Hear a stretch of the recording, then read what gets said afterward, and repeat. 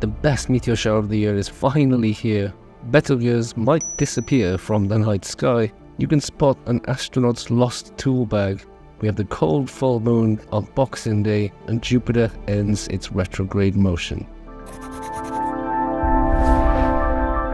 Welcome back to another episode of What's in the Night Sky for December 2023. And before we deep dive into this month's night sky, it's your last chance to grab a 2024 What's in the Night Sky calendar before Christmas. They make great Christmas gifts. And I only have about 100 left now. Once they're gone, they're gone. I'm not doing another print run. So follow the link in the video description down below. We ship worldwide, but if you're in the EU, you need to order from my eBay store instead. So starting with a general look at the Northern Hemisphere night sky, and as darkness falls, you can still enjoy the dark dust lane of the Great Rift and the fuzzy bright Cygnus region of the Milky Way in the west. As I explained in another video, Milky Way season is never over.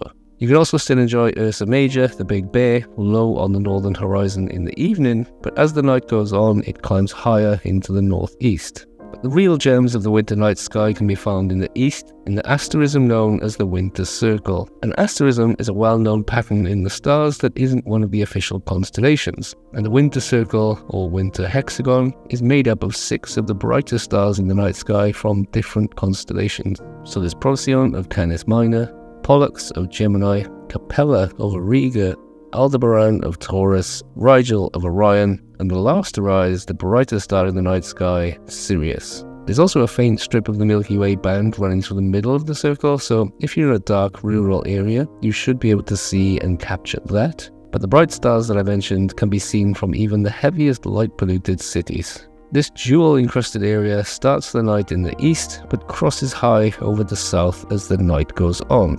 In the southern hemisphere, where it's summer, the winter circle is known as the southern summer circle. They can also be found in the east as darkness falls, but they will arch much higher and over the northern sky from right to left. Also, in the late evening, it's a good time to bag a Milky Way arch panorama facing east. You'll have the southern summer circle on the left in the north, and some southern hemisphere constellations like Vela, Carina, and the Crux on the right in the south. This region of the Milky Way in the south is also worth capturing on its own, as it's rather bright and fuzzy and it's encrusted with the brightest stars in the southern hemisphere night sky. Then we have the highlight of the month with the best meteor shower of the year, the Geminids. And this year, there is only a 2% one day old crescent moon, which will set shortly after sunset, leaving the skies dark all night, so conditions couldn't really be any better, assuming there's no clouds where you are. And this is great news because the Geminids is one of the meteor showers which actually has high rates of meteors before midnight as well as in the pre-dawn hours. The shower is active from November the 19th to December the 24th, but activity really ramps up on the nights either side of the peak, which is expected to fall on December the 14th this year at roughly 1930 in Universal Time. During the peak, with the moon out of the way, if you're in a completely dark rural area, you can possibly see up to 100 meteors per hour. If you're in the southern hemisphere though, you should expect much lower rates than that.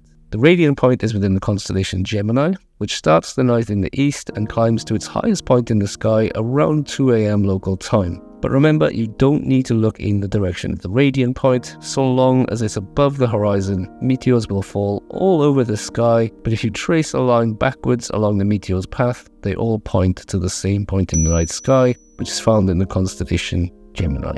Gemini meteors tend to be bright, bold, and white, and they can be a real feast for the eyes. So, long story short, make sure you're out under dark, clear skies on the night of the 13th and 14th than any other night in the week either side of the peak. Now, some pretty unique news in Witten's. If you've heard the phrase finding a needle in a haystack, how about spotting an astronaut's toolkit in space from Earth? Surprisingly, it might be easier than finding the needle. On the 1st of November, NASA astronauts Jasmin Moghbeli and Loral O'Hara misplaced a toolbox which floated away during a maintenance spacewalk on the International Space Station. The toolbox is now in orbit around Earth and is surprisingly bright with some putting it at magnitude 6, which puts it at the limit of naked eye visibility if you're in a dark sky location. Otherwise, you can spot it with some binoculars or a small telescope. It's in front of the space station, following the same path, and the latest estimates put it around 22 minutes ahead of the ISS. So use an app like ISS Detector to see if there are any ISS passes in your location soon, and head out half an hour to 40 minutes earlier to see if you can spot the tool bag following the same path as the ISS. Ideally, you need the pass to be during twilight so that it's brightly illuminated by the sun and shining against the dark sky backdrop. Estimates say it's going to orbit Earth for a few months and probably going to burn up in Earth's atmosphere around March in 2024. In further unique news, Betelgeuse is set to fade and might even disappear altogether. And no, this is not some clickbait about it going supernova in 100,000 years or whatever.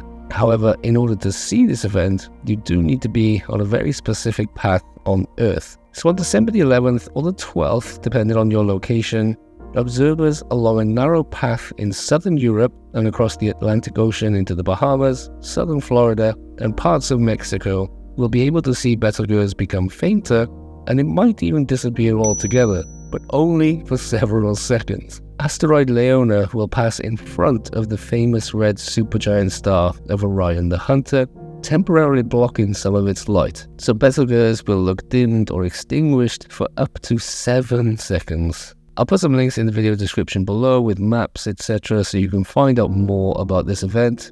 And it's funny that Betelgeuse is already notorious for its dimming and brightening, as it is a variable star, but this time it will be asteroid Leona's fault. As for the planets this month, Saturn can be found in Aquarius, shining at a modest magnitude of 0.9. For those in the northern hemisphere, it starts the night in the south and sinks into the west. For those in the southern hemisphere, it can be found high overhead as darkness falls and also sinks down to the west. Jupiter continues to shine brightly this month. It's in the constellation Aries.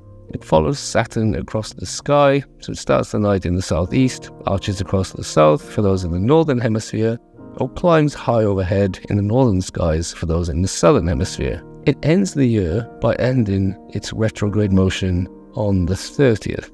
Venus can be found rising in the east in the pre-dawn hours, shining at a blazingly bright minus 4.1. It's joined by a thin crescent moon on the 9th. Full moon this month falls on the 26th, the day after Christmas, which is celebrated as Boxing Day in many Commonwealth countries. This full moon is known as the cold moon, although there's no prizes for guessing why. There are prizes, however, for our monthly Witten's photography winners, so let's check those out. For those of you that are new here, every month I set a target subject or theme for people to photograph for a chance to win a prize. If you submit it via Twitter or X, whatever it's called, use the hashtag WITNS on your post. But if you're uploading to Instagram, please add a tag on your image for at WITNS underscore Alyn Wallace. It's not enough to just add a mention in the description of the post, it has to be a tag on the image. Anyway, third place wins a copy of my Astro Workflow Lightroom presets. Second place wins a 2024 What's in the Night Sky calendar. And first place wins a copy of my book Photographing the Night Sky. Last month's theme was the Great Rift, a part of the Milky Way that's left above the horizon now that the Milky Way core season has finished, and here are the winners. In third place was Luke with this beautiful image of an old castle ruins in Scotland. I loved the simplicity, the natural edit, and also how the Great Rift, which is a dark dust lane blocking the Milky Way from view, is somewhat blocked itself by some local cloud, which is causing a nice bloat on the bright stars of the Summer Triangle asterism. Very nicely done.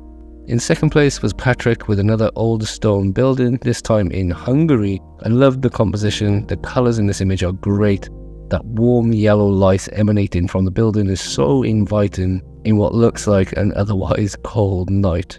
Really like the editing on this, nice and sharp and clean. And in first place was Lucas with this stunning image from the Czech Republic. I loved the different textures from the scree rocks in the foreground to the soft trees in the midground. There's just layers upon layers in this image, creating so much depth, and they all just fold into one another. I also love how the clouds acted as a frame for the Great Rift, even as leading lines pointing towards it. Very beautifully composed and very beautifully edited image, so congratulations. This month, it has to be the Geminid meteor shower. Don't miss it, guys. Start doing your clear sky dances now. So what are you most looking forward to this month? Let me know in the comments down below. Don't forget to follow my new page on Instagram at WITNS underscore Alyn Wallace. Hit subscribe if you haven't already, and check out this astro vlog of the Geminid meteor shower if you haven't already. And hopefully, I'll have a new one for you this year. As always, if you're going out to enjoy the night sky anytime soon, I wish you good luck and clear skies.